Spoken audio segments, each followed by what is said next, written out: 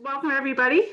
Um, I have the pleasure to introduce Jordan Pierce. He's a master's student in the oceanography program at UNH. Uh, Jordan joined the center in August of 2018. And prior to that, he completed his undergraduate studies as, at Texas A&M um, in geographic information systems. And then he went on to teach English to high school students and Shenzhen, China. I hope I pronounced that correctly. We'll see. Um, and worked as a research assistant in designing artificial substrates um, at the University of Hong Kong. Um, since beginning at the center, uh, Jordan has really become an expert, I would say, in, uh, in speaking at virtual conferences. He's done quite a bit of that and has experienced, I believe, and Jordan, you'll have to tell me if I'm wrong, for the first time, um, a winter with snow that stays for longer than an hour or two on the ground mm-hmm. uh, in, uh, in New Hampshire, um, which he has thoroughly enjoyed. and and uh, so today, uh, Jordan will be talking about automating the boring stuff, a deep learning and computer vision workflow for coral reef habitat mapping. And I should say that, uh, and I just want to point out too that um, Yuri and Kim and I have all been uh, advising Jordan. So, uh, yeah, good luck. Cool. Thanks, Jen. I appreciate it. Uh, and thank everyone for coming. I really do appreciate it. Uh, so I'm going to go ahead and start. Uh, to just to reiterate, my name is Jordan Pierce. I'm a master's student studying oceanography, and for my thesis, I looked at ways to automate the mapping of coral reefs both in 2 and 3D using deep learning and computer vision algorithms. So obviously, ecology is much more complex than what I show here. I just wanted to present that of the general process, this is the part that I am most interested in. So my goal was actually to develop tools and technologies to make it easier for ecologists so that they don't have to spend all of their time doing boring stuff and instead they can focus on what really matters. Specifically, I was interested in automating the annotation of images collected from benthic quadrat, quadrat habitat surveys. And if you're not familiar, this is when while scuba diving, researchers will go out to a reef and they'll lay out a transect line across the surface. They'll swim along it and stop at random intervals and they'll take out this square PVC quadrat that they're carrying and sort of throw it haphazardly. And wherever it falls, they'll take an image of the contents. They'll do this many times, taking many high resolution images. These are then uploaded into a point based annotation software tool where potentially hundreds of points are projected onto each image, and the researcher is tasked with labeling every single one. Now, from these labels and through the power of statistical analysis, coverage statistics relating to abundance and diversity can be estimated. But this creates a bottleneck in the entire process because it's really easy to go out and collect lots of images, but it requires a substantial amount of time and effort and money to label them. So ideally, this part of the entire process would be automated, and to some extent, it already has been. So since deep learning became popular around 2012, many researchers have been trying to automate this task using different types of convolutional neural networks. Typically, they compare their algorithms using what's called the Moorea labeled coral dataset, which is currently one of the most common benchmark datasets for coral reef image classification. In fact, there's even an entire website called CoralNet, which will attempt to provide labels to these types of images automatically through the use of machine learning algorithms. However, the issue with all of these existing methods is that uh, they only provide sparse labels. They work by sampling the image and extracting a patch, which they then pass to the classifier to classify just the centermost pixel. Now, this works, but if you have an image that's about 12 megapixels in resolution, and you only provide about 200 sparse labels, then really you're only annotating about 0.0016% of the entire image. So for my thesis, I instead uh, worked on developing a more efficient method of obtaining dense labels, which as you can see on the image on the right, is when every single pixel is provided with a semantic label. So today I present to you my thesis, which is comprised of three individual chapters, each of which builds off the previous. And the first, I make improvements to an existing algorithm that converts the sparse labels associated with an image into dense labels automatically. I then conduct a series, series of experiments in which I compare the original implementation against my own. In the second chapter, I showcase to benthic ecologists how this improved implementation could be useful to them in automating the annotation of these types of images. Using the Moorea labeled coral data set, I use deep learning algorithms to perform semantic segmentation on novel images. And finally, in chapter three, I transition from classifying 2D images to 3D photogrammetric models, where I use techniques from the previous two chapters to do so. A lot of talking, sorry. So before we get to how you convert sparse into dense labels, I want to introduce to you an over-segmentation algorithm called Simple Linear Iterative Clustering, or SLIC. Simply put, this and other over-segmentation algorithms aggregate the individual pixels of an image into visually homogeneous regions called superpixels. They work by treating each pixel in the image as a data point and then clusters them together based off shared similarities of color value and location. So pixels that are clustered together in feature space form superpixels within image space. And because there's a finite amount of pixels in the image, there's a trade-off between the number of superpixels that form and their relative size. So for example, if we increase the number of superpixels, each one gets smaller. Now, say we have an image and we have some existing sparse labels that were provided by a trained expert, and we segment that image into some number of superpixels. We could then propagate the class of the label to all of the other pixels within the same superpixel. And this works, but there are some issues, like how do you determine how many superpixels should be formed a priori? Because if you look at the image, some superpixels are too large, and therefore they encompass multiple class categories, meaning that some pixels will be incorrectly labeled. But if the superpixels are too small and there aren't enough sparse labels, then most pixels are left unannotated.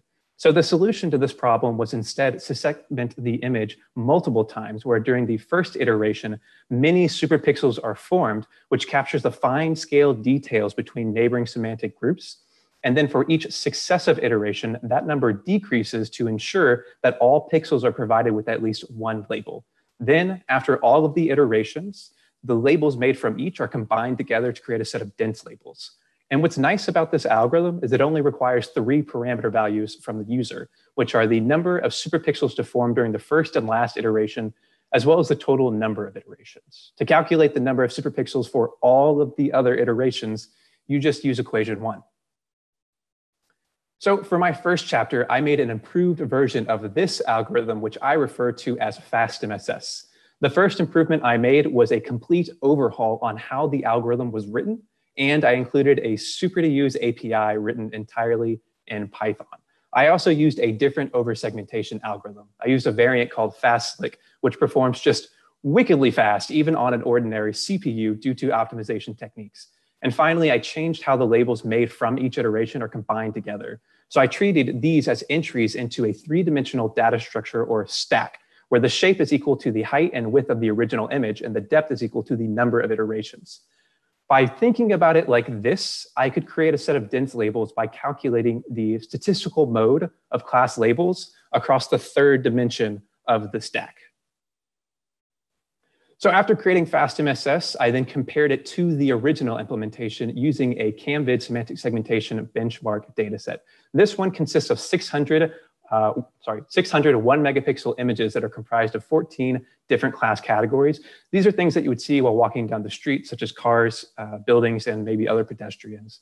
And for each image, there is a ground truth set of dense labels that were created manually by a trained expert. So my comparison uh, sorry, my experiment consisted of three trials in which I compared uh, my implementation against the other. To do this, I had three trials in which I synthesized sparse labels by uniformly sampling some percentage of the ground truth for each image. So for example, the first trial, I synthesized sparse labels by sampling 1% of all of the pixels in the image. For the second trial, it was 0.5%, and for the third, it was 0.1%. Then for each trial, I passed these synthesized sparse labels to both implementations, and they generated their own versions of dense labels. Uh, for the MSS, I used the original code provided by the authors, and I used their recommended values for this same data set. For mine, for FastMSS, I did a grid search to determine the optimal parameter values. These dense labels were then compared to the ground truth using pixel accuracy, which is the number of correct instances over the total number of instances, mean pixel accuracy, which is just pixel accuracy per class averaged together unweighted, and then mean intersection over union, which is the true positives over the sum of true positives, false positives, and false negatives. And for each uh, metric, it ranges between zero and one, where one represents a perfect score. So for the results, I have table one. You can see that I have the percentage and number of sparse labels synthesized for each trial, the classification scores, and then also the speed of both implementations. For pixel accuracy, there was no difference between either two implementations for any of the three trials, but for mean pixel accuracy, FastMSS performed better in all three, but only in the last two for mean intersection over union. With regards to speed, FastMSS uh, performs significantly faster, anywhere between eight and 10 times. So from this chapter, I have two key takeaways for you. The first being that based off this experiment, FastMSS performed faster and with higher classification scores, which translates to it creates more accurate dense labels. Also, there seems to be a positive correlation between the number of sparse labels associated with an image and the resulting classification scores of the dense labels made by FastMSS. And this is important for chapter two, in which I further validate FastMSS performance using the Moorea labeled coral dataset. Oh, so the MLC dataset was uh, released in 2012, and it currently serves as the most widely used benchmark dataset for coral reef image classification. It consists of about 2,000 images that were taken of the same sites across three different years, which include 2008, 2009, and 2010. Uh, and for each image, there's about 200 sparse labels associated with them that were provided manually by a trained expert. And because this is a benchmark data set, it also outlines three patch-based image classification experiments that use nine of the most abundant class categories, making up about 92% of all of the sparse labels. Now at this point, it would be fairly easy just to take each image and the sparse labels, pass them to FastMSS, which would then automatically generate a corresponding set of dense labels. And by doing this, I could showcase to ecologists how FastMSS could be useful in augmenting their existing data sets. And also, because the labels are dense, they could calculate more robust coverage statistics. However, the major issue with this algorithm is that it still requires sparse labels. And therefore, if they don't exist, the researcher still has to make them. So for this chapter, I instead focused on developing or showcasing a way to ecologists how they could obtain dense labels for novel images. I used the images in the MLC dataset and dense labels made by FastMSS to form a training dataset, which I then used to train another deep learning algorithm. This is called a fully convolutional network, and it's used to perform semantic segmentation on computer vision. Uh, it's a computer vision algorithm, sorry.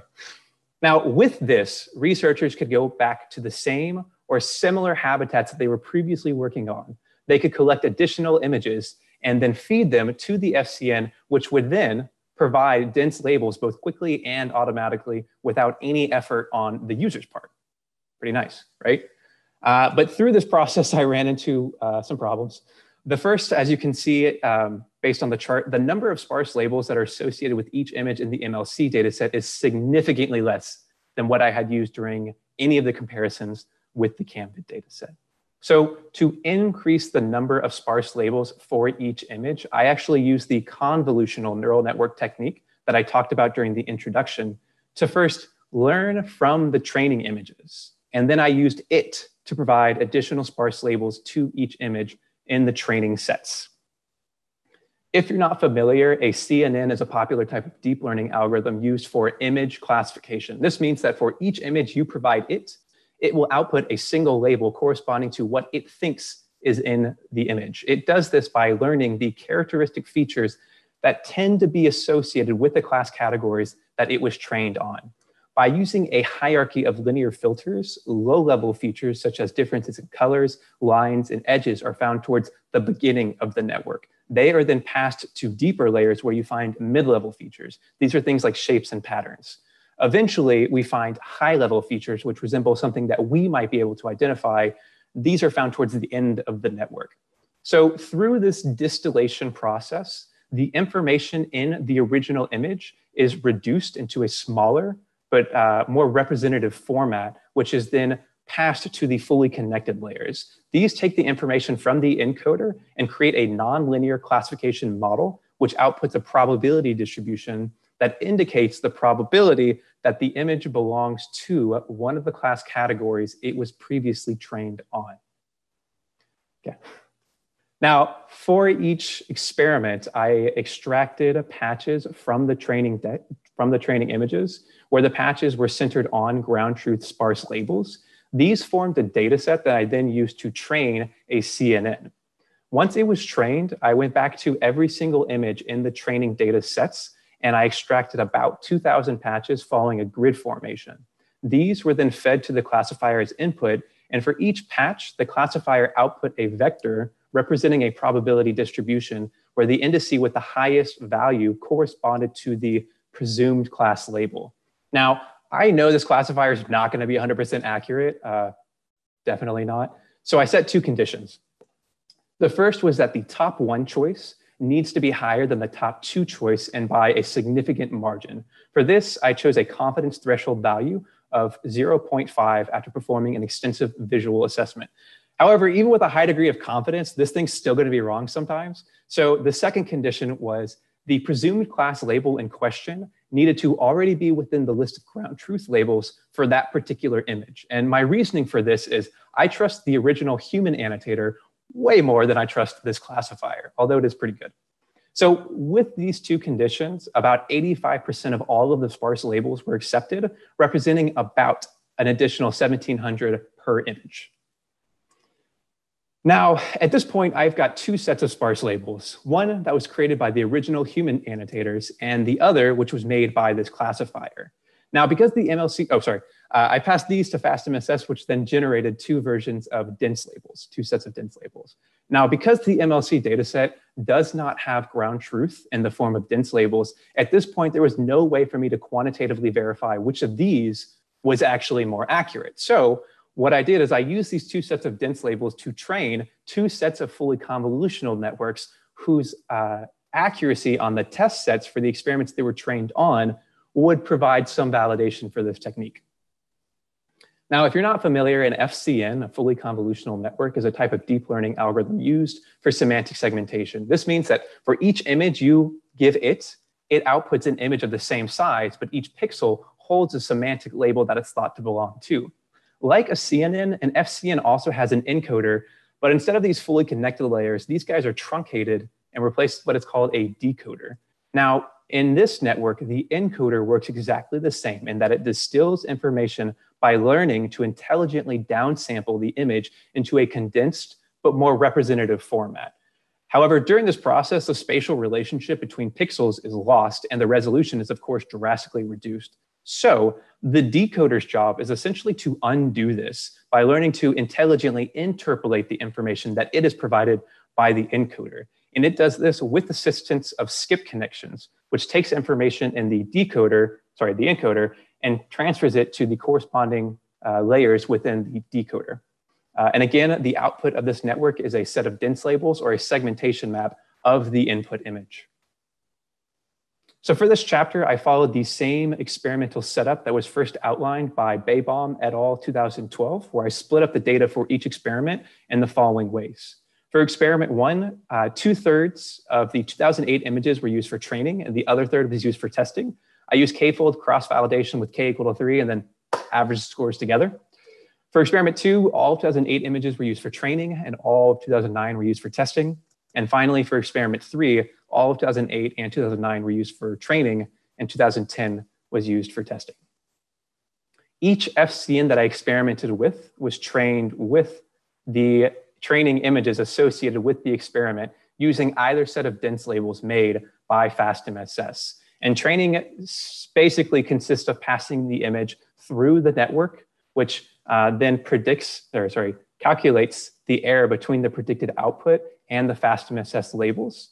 And then with that, with that error, each parameter in the model is then adjusted by an amount that is proportional to the error that it was responsible for using backpropagation. So this process was repeated for 20 epochs in which the model was shown all of the training samples 20 different times. And if you have questions about how I trained the model or the hyperparameters that I chose to use, please feel free to ask after the talk. I would genuinely like to discuss it. Um, following the training process, each FCN was then evaluated on its test set.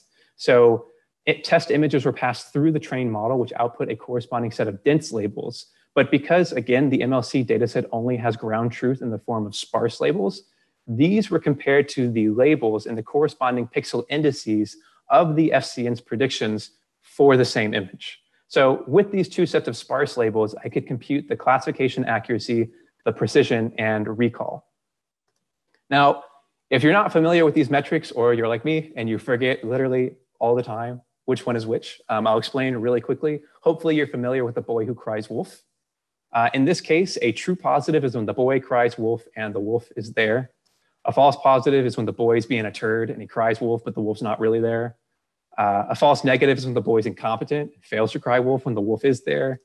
And a true negative is when the boy doesn't cry because the wolf's just not there. Again, accuracy, it's exactly what you think it is. It's the number of correct instances over the total number of instances.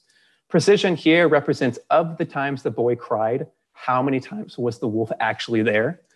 and recall represents of the times the wolf is there, how many times the boy actually cry? And because I'm doing multi-categorical classification, because I have nine or 10 classes, this is done for each class category and then averaged together, unweighted. And again, the scores range between zero and one, where one represents a perfect score.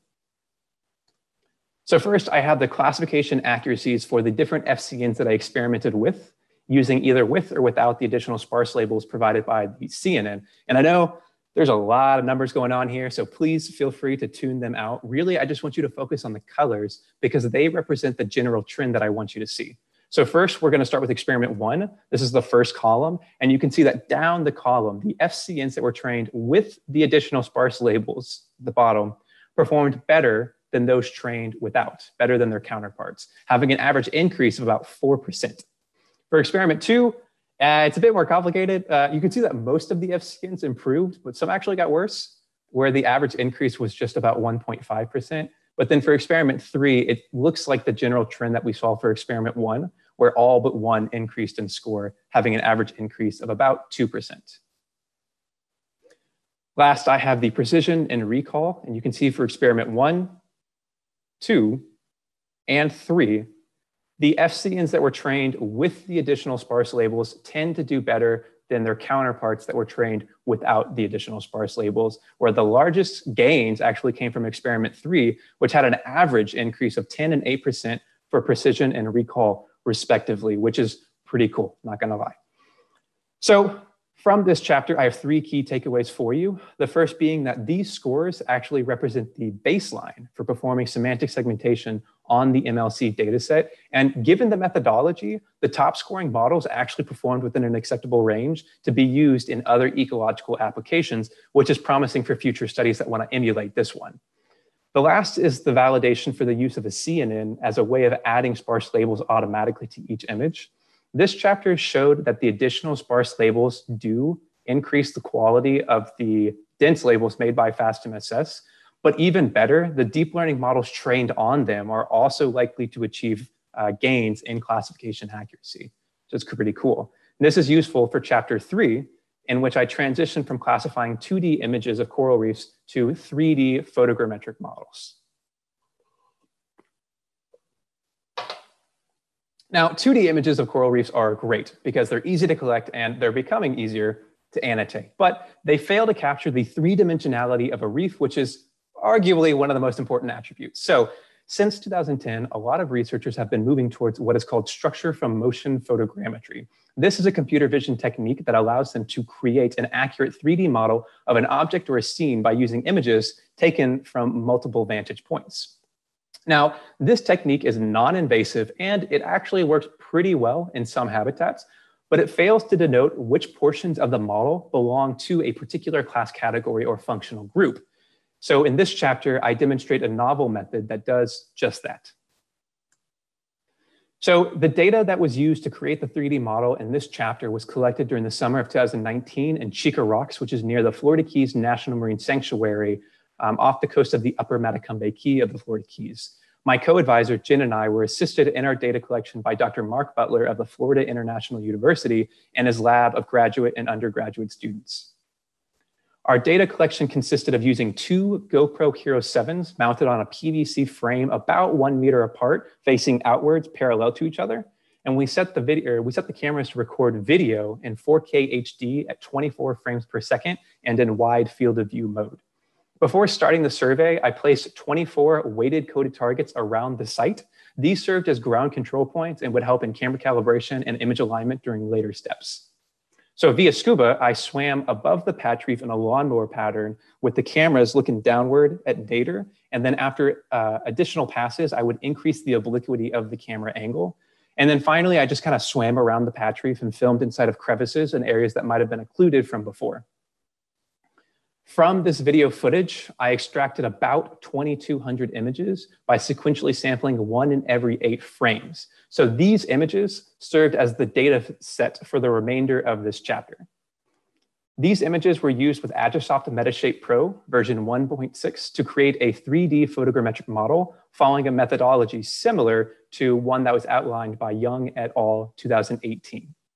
Because I used wide field of view mode in, uh, with the GoPros, I set the camera calibration profile to fisheye lens, and I used the detect marker tool to try to identify the center of each coded target found within each image.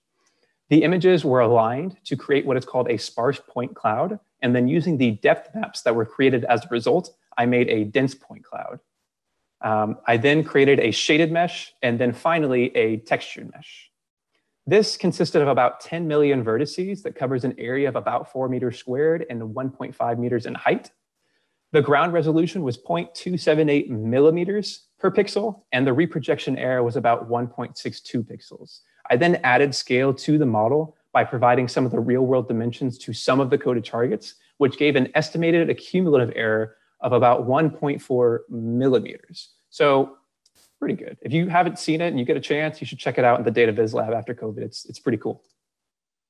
Now, up until this point, there's been no machine learning involved in creating this 3D, photo, 3D photogrammetric model, just regular structure from motion photogrammetry. And this has been done by many ecologists before me. But while working with Metashape, I learned a few things. One of them being that if I had a corresponding set of dense labels for every single image used in the reconstruction process, I could swap the two and then reuse some of the metadata that was made during the reconstruction process to create a 3D photogrammetric model. However, it would require a set of dense labels for every single image used in the reconstruction process. And if done manually, it would require a substantial amount of time on my part. And being a lazy person, I didn't want to do this, but I knew that by working with chapters one and two, I could use those techniques to my advantage to actually streamline the process and make it way more efficient. So instead of creating sparse labels using the traditional point count method, my other co-advisor, Yuri, created this awesome patch extraction tool, which as you can see, has a graphical user interface that allows the user to move the mouse around freely to extract highly representative samples of each class category of interest. So using this tool, I extracted about 10,000 training patches from images that were randomly sampled from the dataset. From these images, I defined seven class categories for this study, four of which are biological, including branching, fish, massive coral, and algae, of which each of these has multiple species that I did not differentiate between.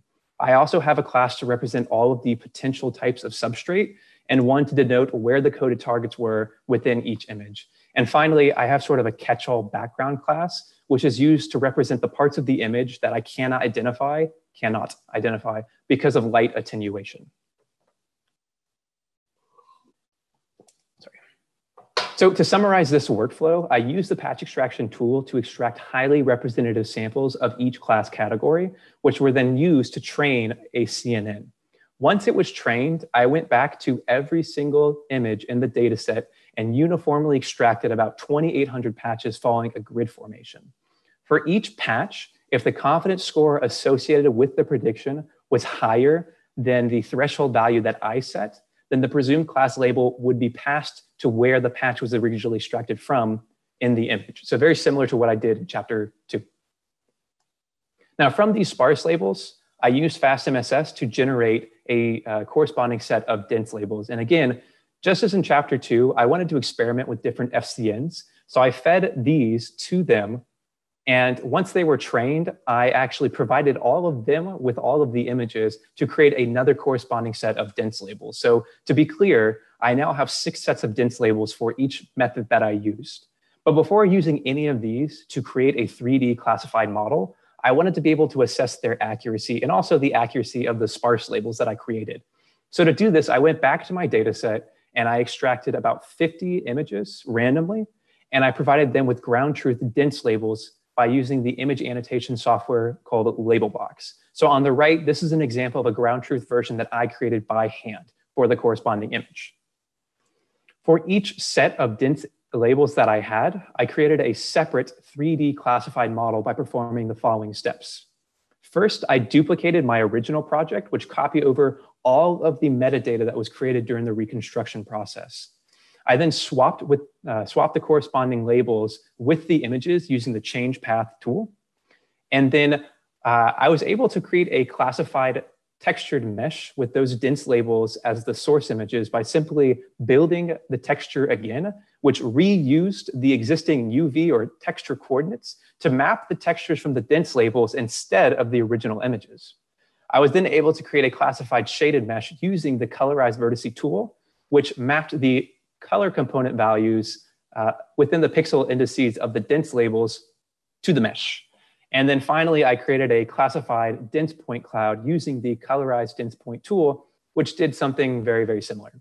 Now at this point, with the shaded mesh and the dense point cloud, I could actually export them with their classifications to be used in some other sort of spatial analysis software like ArcMap or ArcScene or something that you might be more familiar with.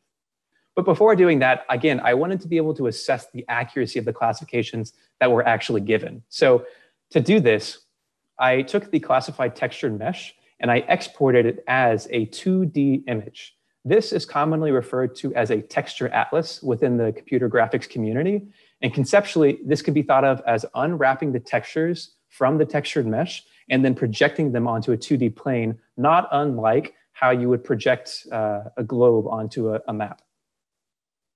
So I did this for both the classified texture atlas and also the original texture atlas. And because these are just 2D images at this point, I was actually able to create a ground truth texture atlas by making a copy of the original, but then providing it with labels manually using Labelbox. However, the caveat here is that as you can see in the texture atlas, there's a lot of parts that are really hard to differentiate between. So as the annotator, I only chose to annotate the portions of the atlas that I was absolutely confident about. So this resulted in about 88% of all of the atlas being provided with labels, and the other 12% would be excluded from the analysis. In this chapter, this consisted of comparing the sparse labels, the dense labels, and the texture atlases against the ground truth versions that I created. For metrics, I chose to use pixel accuracy, mean pixel accuracy, and intersection over union. And for this chapter, I used dice coefficient score, which is the same as F1 score if you're familiar, which is just the harmonic mean between precision and recall. And you can see that the score is calculated um, using the following equation.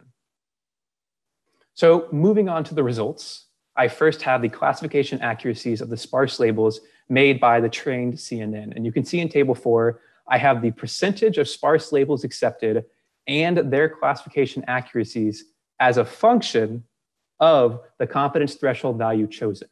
So in the table, you can see that there's an inverse relationship between the confidence threshold value and the percentage of labels accepted. And this is because if you set the confidence threshold value to be something very conservative, like 0.99, you're basically rejecting all of the labels that the, that the CNN is not sure about. But this also creates a direct relationship between the confidence threshold value and the accuracies. Because again, if you reject most of the labels that the CNN is not sure about, then overall the accuracies are likely to increase as a result.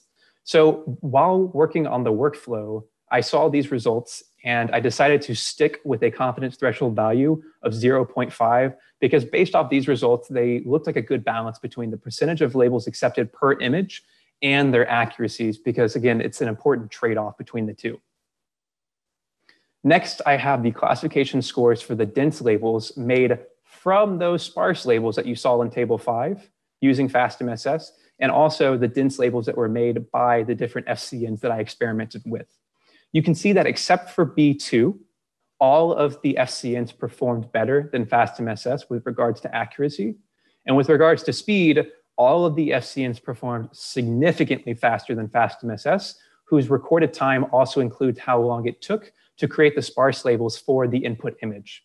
So the difference in accuracy between the FCNs and FastMSS is small, but it suggests that as a deep learning algorithm, an FCN has the potential to develop a better understanding of each class category by learning from the images in the dataset collectively. This is in contrast with FastMSS, which really can only propagate the label that it is given outwards towards neighboring pixel indices. So this, with the speed, sort of highlights why researchers should be moving towards deep learning as a form of image annotation. And finally, I have the classification accuracies for the 3D models that were made from the dense labels that you saw in table five. So again, there's a similar trend. The FCNs tend to perform better than FastMSS, but the difference among them is not really substantial. But what is interesting is because these scores are so similar to what we saw in table five, it actually suggests three things at a minimum. The first is that Agisoft Metashape Pro does a fairly good job of mapping the textures in the dense labels to the 3D model. This one sort of has to be true, otherwise nobody would be using the software for photogrammetry purposes, which is just, yeah.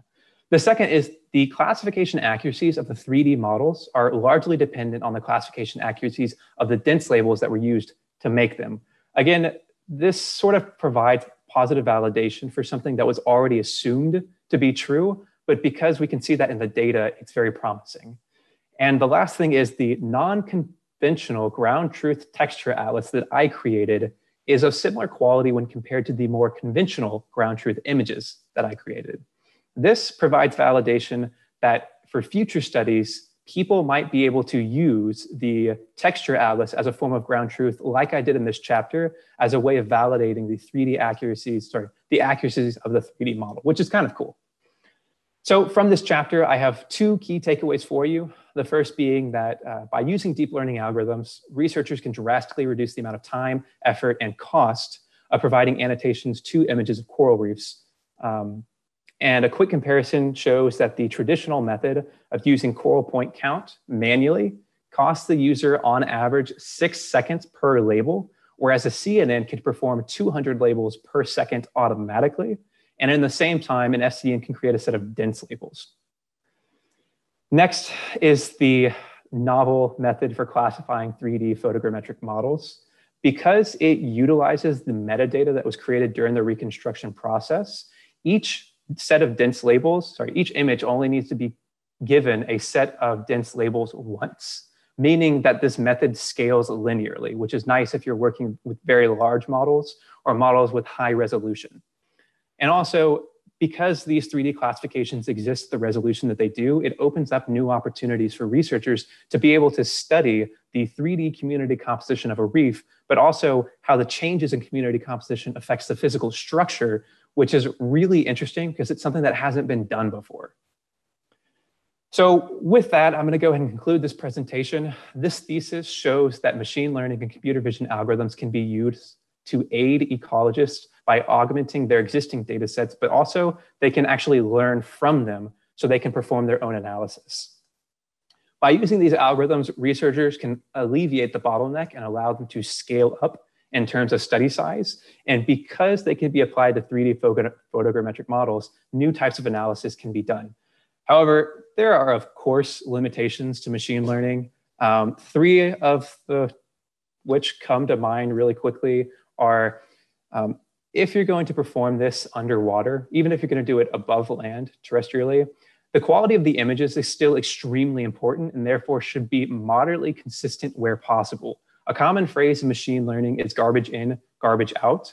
Although these machine algorithms can perform some really sophisticated and cool things, they can still be really fragile and kind of dumb. And therefore, it's your responsibility to ensure that you can spoon feed them data so that they're able to learn the right things. In chapter three, I only used seven functional groups. Uh, this was mostly to demonstrate proof of concept. If you're an ecologist and you want to do something like this, you can, of course, use more class categories to have a higher level of granularity. Um, but with more classes, you need to ensure that the training data sets that you are creating are accurate. Otherwise, the model will be learning the incorrect labels. And finally, the one that's probably more important than the other two is for a lot of people, machine learning might seem a little esoteric because of the assumed learning curve that's associated with it. I will say machine learning takes a long time or it takes a bit of time to get into, but it seems like every single day, more and more people are learning and creating resources and tutorials and software that make it for make it easy for others to sort of use it for themselves in their own analysis and in their own domains. So if you're someone who is interested in moving in this direction, I have a list of image annotation software tools with machine learning embedded in them. So you can use it without having to program. And there's also many, many others that I can share with you if you're interested. But with that, I'm gonna go ahead and conclude this presentation. But first, I wanna thank NOAA, the University of New Hampshire, and the Center for Coastal and Ocean Mapping for the funding and resources that made this research project possible. I really enjoyed this project. I thought it was a lot of fun. I learned a lot of cool things and I met a lot of cool people. And I'm really happy that I was given the opportunity to do this. Um, a big thanks to Dr. Mark Butler and his lab of graduate and undergraduate students, but especially Emily, Nick, and Samantha, who were essential in collecting the data for chapter three. And they're also just fun people to hang out with. Um, a big thanks to Oscar Beijbom, who created the MLC dataset as part of his PhD dissertation that made mine and other people's studies possible. So thank you for that. And then finally, a big thanks to my advisors, Dr. Yuri Rzhanov, uh, Jen Dijkstra, and Kim Lowell for just everything that they've done. They've been fantastic advisors. They've helped me with guidance for the research and also the writing. Thank you for that. Um, and I have a great team. Like I have nothing but good things to say about them. So uh, for those of you who are interested, I have references. I have the different software libraries that I used for my thesis. This is pretty much all of them. I didn't really use much outside of this. If you're interested in talking about the hyperparameters or the training specifications, I've got the information that we can talk about. And again, for those of you who are interested in getting a machine learning, but you're not quite ready to dive in with the computer programming, um, I've got a list here. Again, I have many, many others. These are just what I chose to show because to me, they represent uh, good quality stuff. And with that, I'm gonna go ahead and conclude. And if anyone has any questions, I'll be around. Thanks.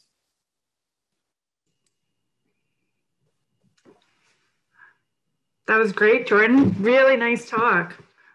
Um, so yeah, so we're open to questions. I think there is one question now.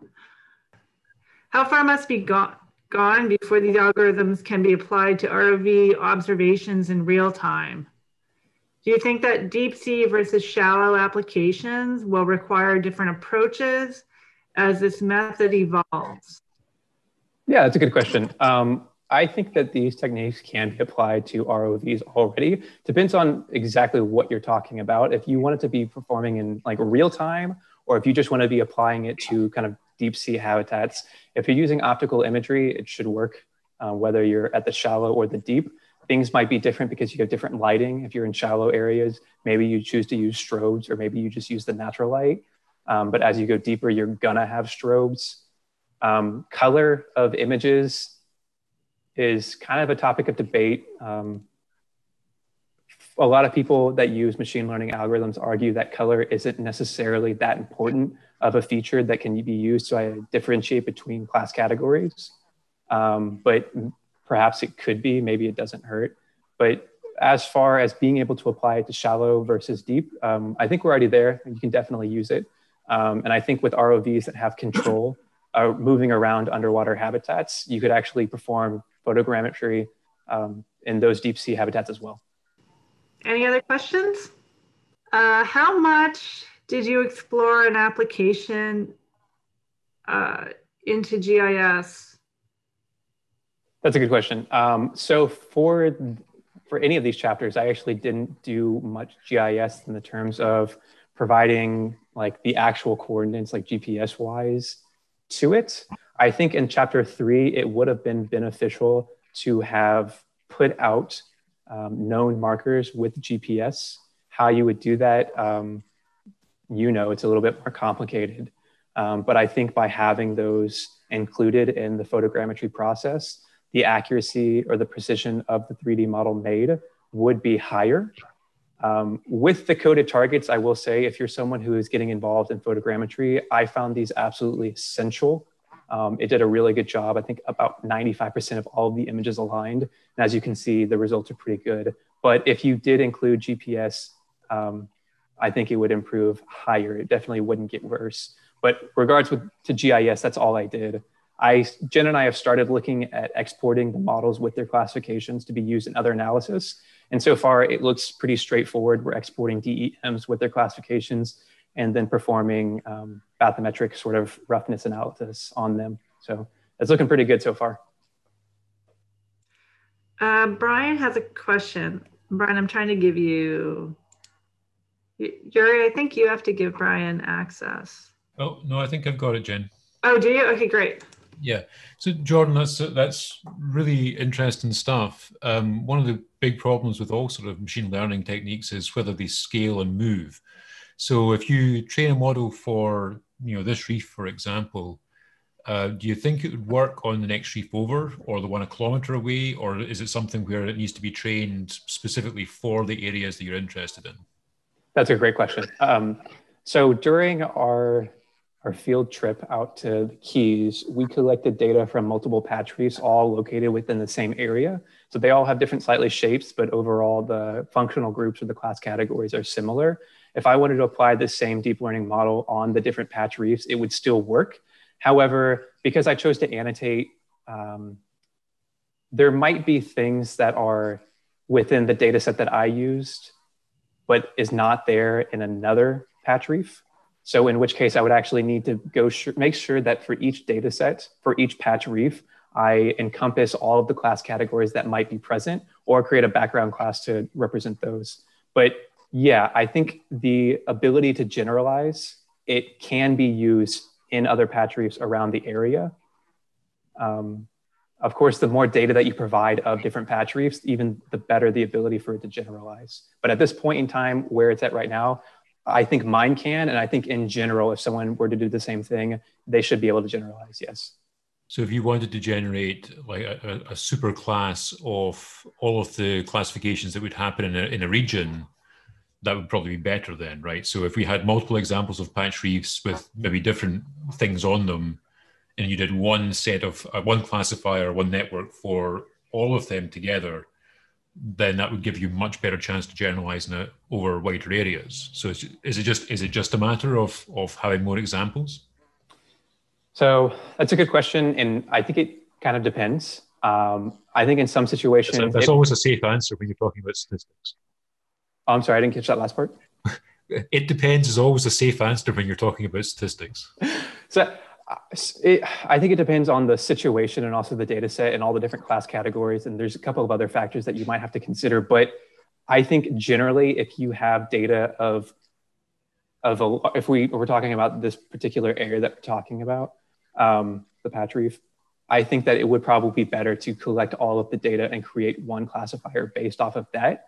However, you could run into situations where it might be beneficial to have um, almost like a hierarchy or you have a cascade where you have different classifiers based on different situations and then you can pass the data to one classifier or another based off of a precondition. But again in this situation based off of what i'm experienced with this site i think it would be a good idea to collect data overall from the entire area and create one classifier. But again to do that you would have to ensure that you collect enough data and you're able to identify all of the different class categories that might be present because if you don't, if you go to a particular area and you go to the next site and there's class categories that it's not sure of, you need to have a method to say like, hey, if you're not sure, let me know that you're not sure. Don't try to misclassify this because no matter what, it's going to classify something that it sees as something as it knows, even if it's not right. So there's it's still fragile in that sense. Yeah, adding an "I don't know" class is is always important in these sorts of things. So it doesn't get too confident in it. I, am really thinking about the the uh, the efficiency of doing this. If you have to define a, a, new network for every patch reef you come across, that's not going to help that much. So, you know, generalization is really important. Hmm. Thanks for your answers. Thank you for the questions. I appreciate it.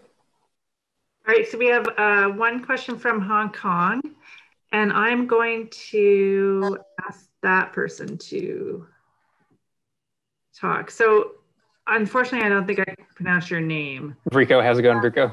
Okay, great. Perfect. Thank you. Uh, thanks. Uh, great job. And I'd like to ask, because you've been to Hong Kong and our corals are heavily eroded and there's a lot of bioeroders and they're of weird shapes.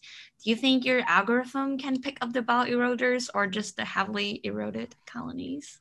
Uh, that's a really good question. And I think it would be a pretty cool application to try. I don't think in its current state it could do that just because it's not trained on those class categories. But if the bioerosion or the kind of turbation that occurs because of those organisms, if it's visually different than the rest of uh, the area, I think you might be able to pick it up. But whether or not you want to perform semantic segmentation or maybe object detection, um, that would be something that you would have to look at. But I think yes, I, I, don't. I'm trying to visualize what it looks like based off of what I remember. And if it's kind of like this coral patch reef where you just have areas that it's exposed coral and it's kind of died and now it's just kind of turf algae or something else, you should be able to do it. Yeah. Very cool. Thank you. Thanks for the question, Rico. Hope you're doing well. So I think that begins to answer Brandon's question. But um, Brandon, would you like to answer uh, to ask your question? I've given you access. Oh yeah, sure. Um, Great. I was just wondering, how many photos would you need, say, of that um, patchy coral area to start distinguishing these um, fairly similar features? You know, like say algae and coral. Mm-hmm. I'm not I'm not too familiar with uh, coral reefs and all that, but are you talking hundreds of images, thousands, tens of thousands before you can start doing some good classification? Yeah, that's a great question. Um, uh, when it comes to machine learning and deep learning, uh, it's data driven, and therefore, the more data, typically, the better the results you get. There's caveats there, but in general, you want to have more. Um, and for a lot of people, machine learning or deep learning might be a turnoff because they assume that they need lots of data. And although it's true that you need more data for the model to be able to generalize, for this particular patch reef, the semantic segmentation model was trained on 2,200 images, or about 21, 2,180 but um, the classifier, the CNN, was trained on about 10,000. I didn't perform an analysis where I looked at, you know, how good is the accuracy with only this number of images versus this number of this number and this number, uh, and saw at what point it reached an equilibrium. But with 2,200 images, it does fairly well. Um, and I would be willing to bet that uh, this particular model could perform still pretty good, even with like 1,500 images, which is really not that much. Um, but yeah, definitely the more the better. More yeah, better. gotcha. Cheers, man. Thanks, man. Appreciate it. All right, Chris Seaton, you had another. Oh, sorry, you had another question. I did have another question. It, Jordan just kind of went over it. Um, yeah. But it, it, led me to think of another one could a similar uh, like deep learning method be used to actually uh, ascertain what would be a good quality image versus a poor quality image? Yeah, that's a great question, Chris. Um, there are so there's some non-deep learning algorithms that you can use to do that, and they try to estimate the amount of blur. Um, and there's some techniques that uh, they may or may not work, but they use it in photogrammetry where they they intentionally try to increase the contrast to make it easier for particular features to stand out, and therefore it makes it easier for the images to align. So you could try to do something similar with. Um, I don't necessarily think that you need deep learning to do that, but you can do it to images using different image processing techniques. But there are other deep learning algorithms that are used, like super resolution which actually uh, similar to what you would see in CSI forensics, where they're kind of like enlarging and enhancing. Like that's not real, but nowadays there's something that is getting closer to that. So there are definitely deep learning ways to enhance images or maybe to be able to differentiate between good and bad quality. Um, I tried super resolution, but I didn't see a significant increase in the accuracy of my model. So that might just be sort of anecdotal. But yeah, there are definitely ways that you can do differentiation between good and bad images as a sort of like a pre-check? Yeah, it's a good question. And one final question from Alex. Uh, well, maybe two more questions, but uh, one question from Alex. Alex, I think Alex Brown, you're good to go. Hello, can you hear me? Yeah, Alex, I can hear you. Awesome. Uh, so first of all, great talk. Thank you very much. Um, that was cool. Um, but so you had um, in chapter two a few models kind of chained together, like you know predicting the um, the the dense classifications and stuff.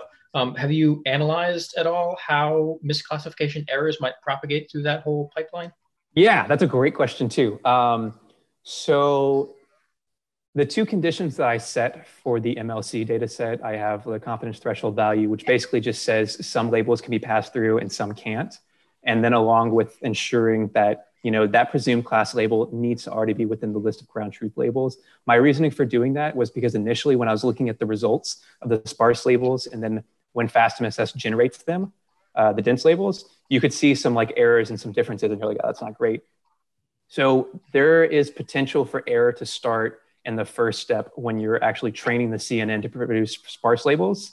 And then there's potential for error to be produced by the FastMSS when it generates dense labels. So there's two points right there off the bat where you have two types of error. And that's the reason why in chapter three, I chose the threshold value based off of ground truth results, because I wanted to limit that amount of error before I got passed on to the next step. um, but when actually looking at the results of the MLC dataset, I didn't include it in this, in this presentation, but I have it in my thesis. You can actually see the misclassifications on the dense labels. They're compared to the sparse labels. And a lot of the parts that were actually misclassified were always near the borders between two semantic groups, which is something that's kind of to be expected because when you're performing semantic segmentation, the transition from one class to the other isn't necessarily concrete, right? There's always like kind of a fuzzy boundary and it always seemed like those spots is where the model was most likely going to be wrong. But um, yeah, that's yeah, that's that's what I have for that. Sorry. That's interesting. Thank you. Yeah, thank you for your question. I appreciate it. I um, think the question is from Massimo. Yeah, I, have seen the question from Massimo. All right, Massimo. I think I've just given you. Um... Can you hear me? Yeah, Massimo, what's going on, buddy? Thank you. It was very good presentation. Good work. I was wondering uh, how did you deal with the tuning of high hyperparameters? Did you did it like trial and error, or did you use some automated tool? To yeah, no, that's a great question. Uh, that's a really good question. So for for those of you uh, for machine learning and deep learning, hyperparameters are just kind of uh, they're additional parameters that you need to set, and they can really affect the training and accuracy of your resulting model. Uh, typically, you split the data up in different sets, training, validation, and tests. So that way, when you mess with the parameter values, you don't accidentally have your model um, overfit. For me, because I was experimenting with different FCNs, all of them of different size, different number of parameters, I tried to keep as many variables constant as possible, including the image size and then also hyperparameters. So what I think I actually did was I chose a set of hyperparameters that seemed to do pretty good for one model and I, I'm regretting saying this now because I'm thinking about it. Um, I probably used those same hyperparameters for every single model. And again, I wanted to be consistent across the board because I didn't want to give preferential, I didn't want to have to choose hyperparameters for each individual model because it would have been extremely complicated. But I guess as a matter of fact, I gave preference to some others more than others. Um, but looking at the results, you could probably get even higher scores if you chose one particular model and then you focused on training the hyperparameters. To choose them, it was kind of, um, it was an art. It was very heuristic. I didn't use any grid search or um, AutoKeras or anything like that. Yeah, it was just kind of, let's see what happens and what works. Thank you. Thank you, Massimo. All right, I think uh, I think that's uh, that's it for questions. So thank you all for participating, um, and yeah. Um, I think if I could ask the committee to stay on, then uh, we can ask our questions. Cool. Thanks for coming, everyone. I really appreciate it.